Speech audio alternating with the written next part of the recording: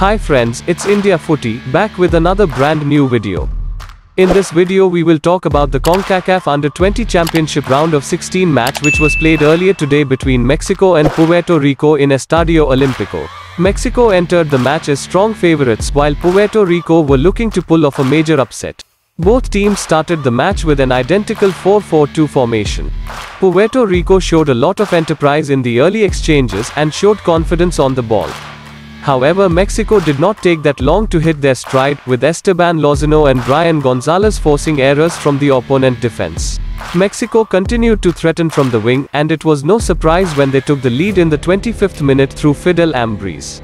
Mexico then continued to have the majority of possession and chances in front of goal, and they duly doubled their advantage in the 34th minute through Christian Torres.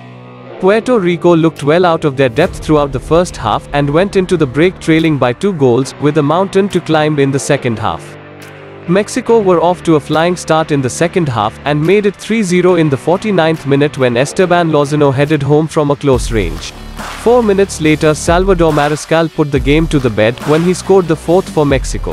Mexico then took control of the game in midfield and denied Puerto Rico space to operate as the second half wore on.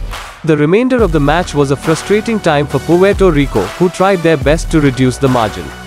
However, Mexico were able to comfortably see out the remainder of the match to the delight of their fans. Mexico will now face Guatemala in the quarterfinal on Wednesday.